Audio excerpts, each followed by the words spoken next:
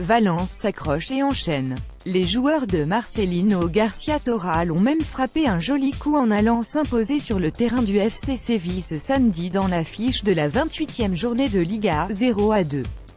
Un doublé de Rodrigo, 25e et 68e, a permis aux Valencians de remporter un second succès consécutif en championnat et surtout de distancer le rival pour la quatrième place du classement qualificatif pour la prochaine Ligue des Champions, 56 points contre 45, et de rester à une longueur du Real Madrid, troisième et vainqueur plutôt à Eibar, 1 à 2. Geoffrey Kondogbia a largement participé au succès de Valence en signant deux passes décisives d'une jolie ouverture puis au bout d'une percée axiale. Il s'est pourtant blessé à la cuisse gauche à un quart d'heure de la fin du match et a dû céder sa place. Un coup dur pour un joueur qui veut retrouver l'équipe de France et a été présélectionné par DIR Deschamps pour les prochains matchs des Bleus.